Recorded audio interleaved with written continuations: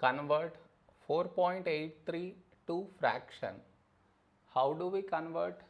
See, given is 4.83.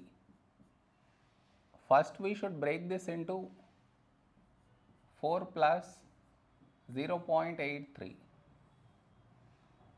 Next, convert this to fraction over here. So 0.83.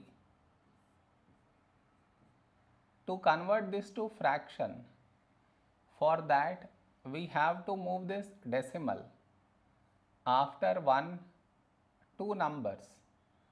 To move this decimal after two numbers, for that multiply it with 100.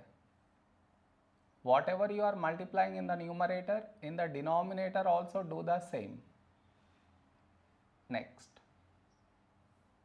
0.83 into 100, 83. 1 into 100, 100. This is the fraction we got now here.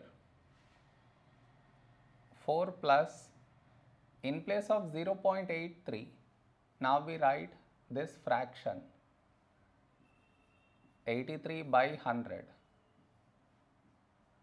4 plus 83 by 100.